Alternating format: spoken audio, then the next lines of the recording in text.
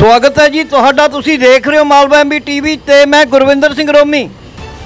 ਕਿਸਾਨੀ ਸੰਘਰਸ਼ ਦੌਰਾਨ ਜਿੱਥੇ ਅਨੇਕਾਂ ਸ਼ਹੀਦੀਆਂ ਹੋਈਆਂ, ਉੱਥੇ ਹੀ ਇਤਿਹਾਸ ਦੇ ਅੰਦਰ ਯੂਪੀ ਦੇ ਲਖਮੀਰਪੁਰ ਖੀਰੀ ਦਾ ਹਾਦਸਾ ਉਹ ਵੀ ਦਰਜ ਹੋ ਗਿਆ ਹੈ ਤੇ ਲੰਮੇ ਸਮੇਂ ਬਾਅਦ ਅੱਜ ਮੁੜ ਲਖਮੀਰਪੁਰ ਖੀਰੀ ਦੇ ਸ਼ਹੀਦਾਂ ਨੂੰ ਯਾਦ ਕੀਤਾ ਗਿਆ ਹੈ।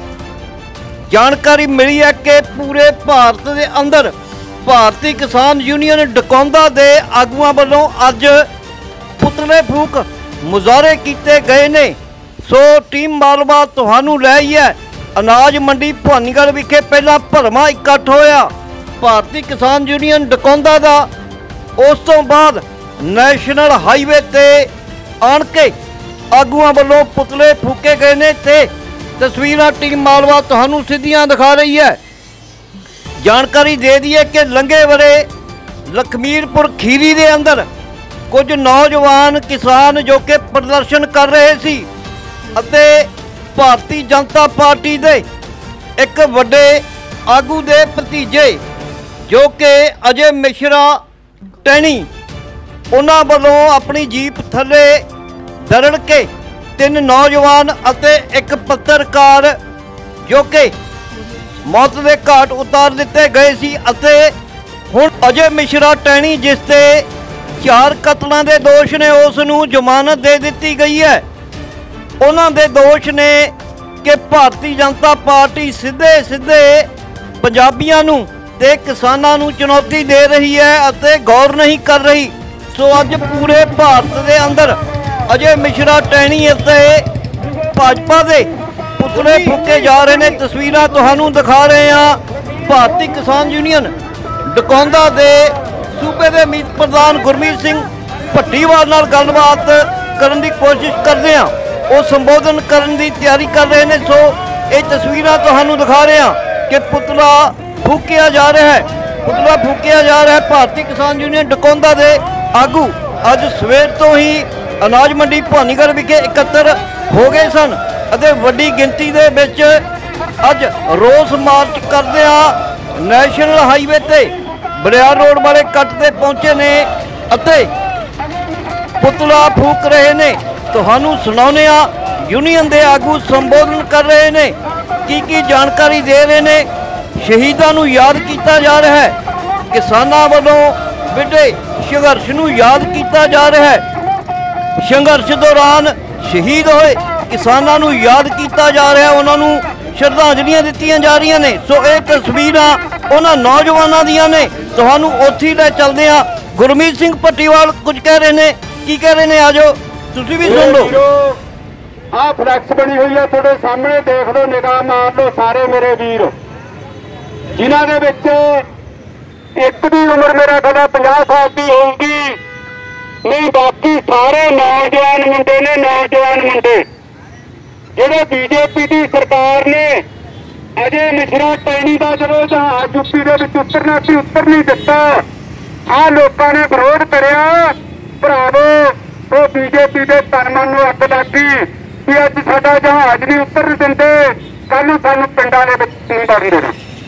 ਪਰ ਮੇਰੇ ਵੀਰੋ, ਅਜੇ ਮਿਸ਼ਰਾ ਟੈਣੀ ਦਾ ਮੁੰਡਾ ਤੇ ਉਹਦਾ ਭਰਾ ਭਰਾਓ ਵੱਡੀਆਂ ਦਾ ਕਾਫਲਾ ਲੈ ਕੇ ਆ ਚਾਰ ਕਿਸਾਨਾਂ ਦੇ ਉੱਤੇ ਚਾੜਤਾ ਕਾਰ ਗੱਡੀ ਲੈ ਕੇ ਆ ਚਾਰ ਕਿਸਾਨ ਨੌਜਵਾਨ ਮੁੰਡਿਆਂ ਨੂੰ ਪੁੱਛੜਤਾ ਕਿੱਤੇ ਦੇ ਵਿੱਚ ਆ ਜਿਹੜਾ ਸਿਰ ਤੋਂ ਮੋਨਾ ਪੱਤਰਕਾਰ ਇਹ ਪੱਤਰਕਾਰ ਮੇਰਾ ਵੀਰ, ਇਹਨੂੰ ਵੀ ਬਣਾ ਦਿਓ ਉਸ ਦਾ ਨਿਸ਼ਾਨਾ ਬਣਾਇਆ।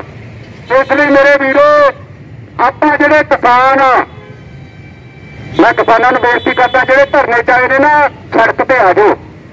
ਛਾਂ ਦਾ ਲਾਲਚ ਨਾ ਕਰੋ ਆਪਾਂ ਰੋਜ਼ ਬੱਟਾ ਵੱਢਦੇ ਆ, ਸਾਰਾ ਕੁਝ ਕਰਦੇ ਆ, ਖੇਤਾਂ ਦੇ ਵਿੱਚ ਹੀ ਰਹਿੰਦੇ ਆ। ਹੁਣ ਆਹ 10 ਮਿੰਟ ਦੀ ਗਰਮੀ ਨਾਲ ਨਹੀਂ ਤੁਹਾਨੂੰ ਪਛਾਣ ਲੱਗਿਆ। ਮੇਰੇ ਵੀਰੋ, ਇਹ ਕਿਸਾਨ ਨੇ ਜਿਹੜੇ ਇਹ ਦਿੱਲੀ ਆਪਣਾ ਮੋਰਚਾ ਲੱਗਿਆ ਹੋਇਆ ਸੀ, ਉਹ ਮੋਰਚੇ ਦੇ ਦੌਰਾਨ ਇਹਨਾਂ ਨੇ ਸ਼ਹਾਦਤ ਦਾ ਜਾਮ ਪੀਤਾ ਪਰ ਮੇਰੇ ਵੀਰੋ, ਆਪਾਂ ਬਹੁਤ ਜਿਹੜੀ ਕਿਸਾਨੀ ਹੈ, ਉਹ ਭੁੱਲਣਾ ਭੁੱਲ ਜਾਂਦੀ ਹੈ। ਕਿਉਂਕਿ ਅਜੇ ਬਹੁਤਾ ਟਾਈਮ ਨਹੀਂ ਹੋਇਆ। ਜੇ ਅੱਜ ਦਾ ਟਾਈਮ ਦੇਖੀਏ, ਭਰਾਵੋ ਜੇ ਤਾਂ ਕੋਈ ਟਾਈਮ ਨਹੀਂ ਹੋਇਆ। ਕਿ ਚਾਰ ਕਿਸਾਨ, ਇੱਕ ਪੱਤਰਕਾਰ ਨੂੰ ਪੁੱਛਣ ਵਾਲੀ ਬੀਜੇਪੀ ਸਰਕਾਰ ਹੈ। ਕਿ ਅੱਜ ਕੋਈ ਬੀਜੇਪੀ ਦਾ ਨੁਮਾਇੰਦਾ ਪਿੰਡਾਂ ਦੇ ਵਿੱਚ ਆਉਂਦਾ ਹੈ, ਭਰਾਵੋ ਲਾਂਟਾ ਤੁਹਾਡੇ ਵਾਸਤੇ ਪਿੰਡਾਂ ਦੇ ਵਿੱਚ ਉਹਨੂੰ ਵਰਨ ਦੇਵੋ ਆ ਹੁਣ ਕਈ ਮੋਹਰਾ ਲਵਾਉਂਦੇ ਨੇ ਬੀਜੇਪੀ ਦੇ। ਬੀਜੇਪੀ ਰੁਪਈਆ ਦੇ ਗੱਫੇ ਦਿੰਦੀ ਆ ਆ ਪਿਛਲੇ ਸਮਿਆਂ ਦੇ ਵਿੱਚ ਆ ਜਿਹੜਾ ਕਹਿੰਦਾ ਕਿ ਮੈਂ ਕਾਲਾ ਧਨ ਬਾਹਰ ਕਰ ਦੂੰਗਾ ਜਾਂ ਕਾਲਾ ਧਨ ਇਕੱਠਾ ਕਰਿਆ ਹੋਇਆ, ਲੋਕਾਂ 'ਚ ਵੰਡ ਦੂੰਗਾ, ਇਹਨੇ ਵੀ ਬਹੁਤ ਕਾਲਾ ਧਨ ਇਕੱਠਾ ਕਰਿਆ। ਇਸ ਲਈ ਮੇਰੇ ਵੀਰੋ, ਇਹ ਗੱਲ ਤੁਹਾਨੂੰ ਸਮਝ ਲੈਣੀ ਚਾਹੀਦੀ ਹੈ ਕਿ ਬੀਜੇਪੀ ਕਿਸਾਨਾਂ ਦੀ ਦੁਸ਼ਮਣ ਸਰਕਾਰ ਹੈ। ਬੀਜੇਪੀ ਦੇ ਹੁੰਦਿਆਂ ਭਰਾਵੋ, ਤੁਹਾਨੂੰ ਇੱਕ ਸਾਲ ਤੋਂ ਵੱਧ ਸਮਾਂ ਦਿੱਲੀ ਦੀਆਂ ਸੜਕਾਂ ਦੇ ਉੱਤੇ, ਬਾਰਡਰਾਂ ਦੇ ਉੱਤੇ ਰੋਲਣਾ ਪਿਆ, ਰੋਲਿਆ ਬੀਜੇਪੀ ਦੀ ਸਰਕਾਰ ਨੇ। ਪਰ ਇੱਕ ਸਾਲ ਤੋਂ ਵੱਧ ਸਮੇਂ ਤੋਂ ਬਾਅਦ ਉਹ ਜਿਹੜੇ ਕਾਲੇ ਕਾਨੂੰਨ ਲੈ ਕੇ ਆਈ ਸੀ ਬੀਜੇਪੀ, ਤੁਹਾਡੇ ਏਕੇ ਨੇ, ਤੁਹਾਡੇ ਇਕੱਠ ਨੇ, ਤੁਹਾਡੇ ਸੰਘਰਸ਼ ਨੇ, ਉਹ ਸੁੱਕਿਆ ਹੋਇਆ ਚਟਾਤਾ ਬੀਜੇਪੀ ਨੂੰ, ਜਿਹੜਾ ਮੋਦੀ ਕਹਿੰਦੇ ਤੇ, ਜਿਹੜੀ ਗੱਲ ਕਹਿੰਦੇ ਕਹਿੰਦੇ ਮੋਦੀ ਮੁੜਦਾ ਨਹੀਂ ਹੈਗਾ। ਮੋਦੀ ਨੂੰ ਮੋੜਨ ਵਾਲਿਆ ਤੁਸੀਂ ਲੋਕੋ, ਤੁਸੀਂ ਮੋਦੀ ਦਾ ਮੂੰਹ ਮੋੜਿਆ। ਇਸ ਲਈ ਮੇਰੇ ਵੀਰੋ ਆਹ ਚਾਰ ਕਿਸਾਨਾਂ ਦੀ ਕਾਤਲ ਜਿਹੜੀ ਬੀਜੇਪੀ ਸਰਕਾਰ ਹੈ, ਅੱਜ ਆਪਾਂ ਨੇ ਆਪਦਾ ਗੁੱਸਾ ਇੱਥੇ ਜ਼ਾਹਰ ਕਰਨਾ ਮੋਦੀ ਸਰਕਾਰ ਦਾ ਦਹਨ ਕਰਨਾ ਪਰ ਮੇਰੇ ਵੀਰੋ, ਜਿਹੜਾ ਅਜੇ ਮਿਸਰਾ ਟੈਣੀ ਉਸ ਲਖੀਮਪੁਰ ਖੀਰੀ ਤੋਂ ਇਲੈਕਸ਼ਨ ਲੜੇ ਸੀ, ਉਹ ਮੇਰੇ ਕਿਸਾਨ ਵੀਰਾਂ ਨੇ ਆਪਦਾ ਗੁੱਸਾ ਕੱਢਿਆ ਉੱਥੋਂ ਭਰਾਵੋ ਵੋਟ ਨਹੀਂ ਪਾਈ ਉਹਨੂੰ। ਮੁੱਦੇ ਨੂੰ ਚਿੱਤ ਕਰਤਾ, ਹਰਾਤਾ ਗੁੱਸੇ ਦੇ ਨਾਲ।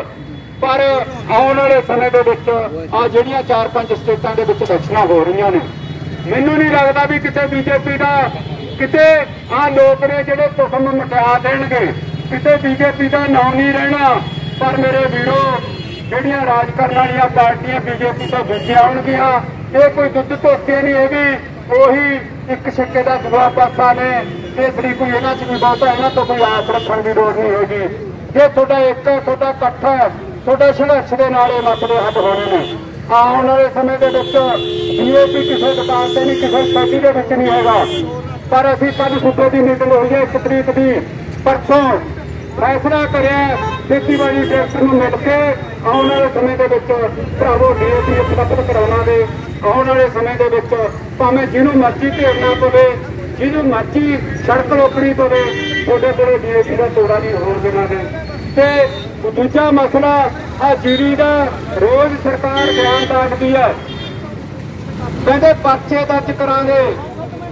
ਉਹਦੀ ਖੇਪ ਦੇ ਵਿੱਚ ਲਾਲ ਐਂਟਰੀਆਂ ਕਰ ਦਾਂਗੇ, ਕਹਿੰਦੇ, ਪਰ ਆਵੋ ਲਾਲ ਕਰਨ ਪੀੜੀਆਂ ਕਰਨ, ਇਹਦੇ ਨਾਲ ਨਹੀਂ ਸਾਡਾ ਕੋਈ ਲਾਗਾ ਦੇ ਇਹਦੇ ਨਾਲ ਸਾਡਾ ਕੋਈ ਸਰੋਕਾਰ ਪਰ ਅਸੀਂ ਸਰਕਾਰ ਤੋਂ ਇੱਕ ਮੰਗ ਕਰੀ ਸੀ ਕਿ ਜੇ ਪਰਾਲੀ ਵਾਲਾ ਮਸਲਾ ਹੱਲ ਕਰਨਾ ਹੈ, ਜਾਂ ਤਾਂ 200 ਰੁਪਏ ਕੁਇੰਟਲ ਦੋਸਤ ਦੇ ਦਿਓ, ਜਾਂ 5000 ਰੁਪਏ ਏਕੜ ਦਾ ਦੇ ਦਿਓ, ਫਿਰ ਕੋਈ ਕਿਸਾਨ ਅੱਗ ਨਹੀਂ ਲਾਊਗਾ।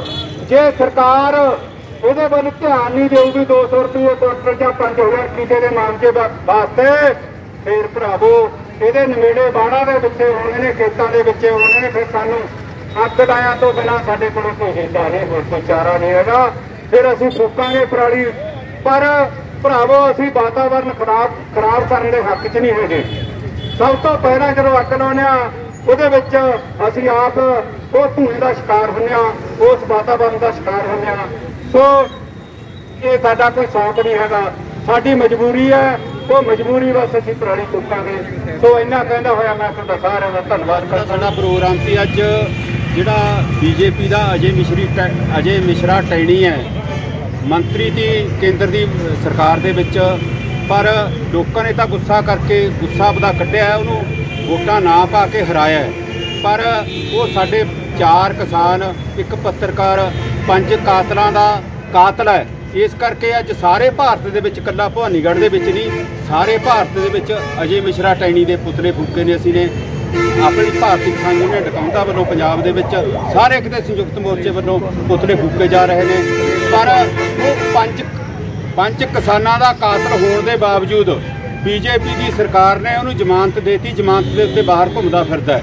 ਪੂਰੇ ਜੇ ਕੋਈ ਆਮ ਕਿਸਾਨ ਹੈ ਜਾਂ ਆਮ ਮਜ਼ਦੂਰ ਹੈ ਆਮ ਮੁਲਾਜ਼ਮ ਹੈ ਕਿਸੇ ਤੇ ਛੋਟਾ-ਮੋਟਾ ਪਰਚਾ ਵੀ ਹੋ ਜੇ, ਉਹਦੀ ਜ਼ਮਾਨਤ ਨਹੀਂ ਹੁੰਦੀ। ਪੰਜ, ਕਿਸਾਨਾਂ ਨੂੰ ਕਤਲ ਕਰਨ ਵਾਲਾ ਅੱਜ ਸੜਕ ਤੇ ਘੁੰਮਦਾ ਫਿਰਦਾ ਸ਼ਰੇਆਮ, ਉਹਦੀ ਜ਼ਮਾਨਤ ਹੈ। ਪਰ ਅਸੀਂ ਸਰਕਾਰ ਤੋਂ ਫਿਰ ਵੀ ਮੰਗ ਕਰਦੇ ਆ ਵੀ ਉਹਦੇ ਉੱਤੇ 302 ਦਾ ਪਰਚਾ 302 ਦੇ ਪਰਚੇ ਦੇ ਤਹਿਤ ਉਹ ਜੇਲ੍ਹ ਦੀਆਂ ਸਿੱਖਾਂ ਦੇ ਪਿੱਛੇ ਹੋਣਾ ਚਾਹੀਦਾ ਉਹਦੀ ਜ਼ਮਾਨਤ ਰੱਦ ਹੋਣੀ ਚਾਹੀਦੀ ਹੈ ਤੇ ਉਹਦੇ ਉੱਤੇ ਪਰਚਾ ਹੋ ਕੇ ਉਹ ਕੇਸ ਚੱਲਣਾ ਚਾਹੀਦਾ ਉਹਨੂੰ ਸਜ਼ਾ ਮਿਲਣੀ ਚਾਹੀਦੀ ਹੈ। ਇਹ ਅੱਜ ਦੇ ਕਿਸਾਨਾਂ ਦੀ ਮੰਗ ਹੈ। ਪ੍ਰਧਾਨ ਜੀ ਜੀ ਕਿਸਾਨਾਂ ਵੱਲੋਂ ਰੇਲ ਰੋਕੋ ਅੰਦੋਲਨ ਵੀ ਚਲਾਇਆ ਜਾ ਰਿਹਾ ਹੈ? ਦੇਖੋ ਰੇਲ ਰੋਕੋ ਅੰਦੋਲਨ ਹੋਊਗਾ ਪਰ ਸਾਡਾ ਰੇਲ ਰੋਕੋ ਅੰਦੋਲਨ ਦੇ ਨਾਲ ਕੋਈ ਸੰਬੰਧ ਨਹੀਂ ਹੈਗਾ। ਉਹ ਇੱਕ ਵੱਖਰਾ ਮੋਰਚਾ ਚੱਲਦਾ ਜਿਹੜਾ ਬਾਰਡਰਾਂ ਤੇ ਹੈ ਉਹ ਉਹ ਕਿਸਾਨਾਂ ਦਾ ਮਸਲਾ ਹੈ। ਸਾਡਾ ਤਾਂ ਅੱਜ ਅਜੇ ਮਿਸ਼ਰਾ ਟੈਣੀ ਦੇ ਜਿਹੜੇ ਕਾਤਲ ਨੇ ਉਹਨਾਂ ਦੇ ਸੰਬੰਧ ਦੇ ਵਿੱਚ ਸਾਰੇ ਭਾਰਤ ਦੇ ਵਿੱਚ ਅਜੇ ਮਿਸ਼ਰ ਅਜੇ ਮਿਸ਼ਰਾ ਟੈਣੀ ਦੇ ਪੁਤਲੇ ਫੂਕਣ ਦਾ ਪ੍ਰੋਗਰਾਮ। ਓਕੇ। ਪੁਤਲਾ ਫੁੱਕਿਆ ਗਿਆ ਵੀ ਜਿਹੜਾ ਸਾਡੇ ਚਾਰ ਕਿਸਾਨ ਸ਼ਹੀਦ ਹੋਏ ਨੇ ਪੱਤਰਕਾਰ ਉਹਦੇ ਸੰਬੰਧ ਵਿੱਚ ਅਜੇ ਮਿਸਰੇ ਟੋਨੀ ਦਾ ਪੁਤਲਾ ਫੁੱਕਿਆ। ਵੀ ਸਾਨੂੰ ਇਨਸਾਫ ਨਹੀਂ ਮਿਲਿਆ। ਅਜੇ ਮਿਸਰਾ ਨੂੰ ਜਵਾਨ ਤੇ ਮਿਲ ਕੇ ਬਾਹਰ ਘੁੰਮਦਾ ਫਿਰਦਾ ਹੈ। ਸਾਡੀ ਸੈਂਟਰ ਸਰਕਾਰ ਤੋਂ ਮੰਗ ਹੈ ਕਿ ਉਹਨੂੰ ਜੇਲ੍ਹ ਕਰਨਾ ਸਿੱਖਾਂ ਵਿਚੇ ਕਰਨ ਨੂੰ ਫਾਂਸੀ ਦੇਣ ਤਾਂ ਕਿ ਸਾਡਾ ਗੁੱਸਾ ਜਿਹੜਾ ਠੰਡਾ ਹੋ ਸਕੇ। ਤਾਂ ਇਹਦੇ ਕਰਕੇ ਅਸੀਂ ਅੱਜ ਸਾਰੇ ਹਿੰਦੁਸਤਾਨ ਦੇ ਵਿੱਚ ਜਿੱਥੇ ਜਿੱਥੇ ਵੀ ਸਾਡੇ ਫੋਰਮ ਨੇ ਉੱਤੇ ਉੱਤੇ ਸਾਡੇ ਪੁਤਲੇ ਫੁੱਕੇ ਜਾ ਰਹੇ ਨੇ। ਇਹਦੇ ਕਰਕੇ ਅਸੀਂ ਪੁਤਲਾ। ਪ੍ਰਧਾਨ ਜੀ ਇੱਕ ਮਤਲਬ ਜਿਵੇਂ ਪੰ- ਪੰਜਾਬ ਦੇ ਵਿੱਚ ਪੰਚਾਇਤੀ ਚੋਣਾਂ ਚੱਲ ਰਹੀਆਂ ਨੇ ਇਹਦੇ ਵਿੱਚ ਤੁਸੀਂ ਕਿਸਾਨਾਂ ਨੂੰ ਕੀ ਸੰਦੇਸ਼ ਦੇਣਾ ਚਾਹੁੰਦੇ ਹੋ? ਦੇਖੋ ਚੋਣਾਂ ਭਾਵੇਂ ਪੰਚਾਇਤੀ ਨੇ ਭਾਵੇਂ ਐਮਐਲਏ ਦੀਆਂ ਨੇ ਭਾਵੇਂ ਐਮਪੀ ਦੀਆਂ ਨੇ ਸਾਡਾ ਚੋਣਾਂ ਦੇ ਨਾਲ ਸਾਡੀ ਜਥੇਬੰਦੀ ਦਾ ਕੋਈ ਵਾਅਦਾ ਵਾਸਤਾ ਨਹੀਂ ਹੈਗਾ ਚੋਣਾਂ ਨੇ ਜਿਹੜੀਆਂ ਚੋਣਾਂ ਸਾਡੇ 'ਚ ਫੁੱਟ ਪਾਉਂਦੀਆਂ ਨੇ, ਸਾਡੀ ਜਥੇਬੰਦੀ ਨੂੰ ਦੁਫਾੜ ਕਰਦੀਆਂ ਨੇ। ਅਸੀਂ ਚਾਹੁੰਦੇ ਆ ਵੀ ਇਹ ਚੋਣਾਂ ਤੋਂ ਜੇ ਬਚਿਆ ਜਾਵੇ ਨਾ ਕਿਸਾਨਾਂ ਨੂੰ, ਬਹੁਤ ਚੰਗੀ ਗੱਲ ਹੈ। ਚੋਣਾਂ ਕਦੇ ਵੀ ਜਥੇਬੰਦ ਤਾਣੇ ਮਾੜੇ ਨੂੰ ਇਕੱਠਾ ਕਰਨ ਦੇ ਵਿੱਚ ਕਦੇ ਸਹਾਈ ਨਹੀਂ ਹੋਈਆਂ। ਜਥੇਬੰਦੀ, ਜਥੇਬੰਦਕ ਤਾਣੇ ਮਾੜੇ ਨੂੰ ਖੰਡਾਉਣ ਦੇ ਵਿੱਚ ਇਹਨਾਂ ਦਾ ਰੋਲ ਹੁੰਦਾ ਅਸੀਂ ਕਹਿੰਦੇ ਵੀ ਇਸ ਚੋਣਾਂ ਤੋਂ ਭਾਵੇਂ ਪੰਚਾਇਤ ਦੀਆਂ ਚੋਣਾਂ ਨੇ, ਭਾਵੇਂ ਕੋਈ ਐਮਐਲਏ ਦੀ ਚੋਣ ਹੈ, ਭਾਵੇਂ ਐਮਪੀ ਦੀ ਚੋਣ ਹੈ, ਚੋਣਾਂ ਤੋਂ ਸਾਡੀ ਜਥੇਬੰਦੀ ਦਾ ਫੈਸਲਾ ਵੀ ਅਸੀਂ ਨਿਰਲੇਪ ਹਾਂ, ਸਾਡਾ ਕੋਈ ਗੱਲ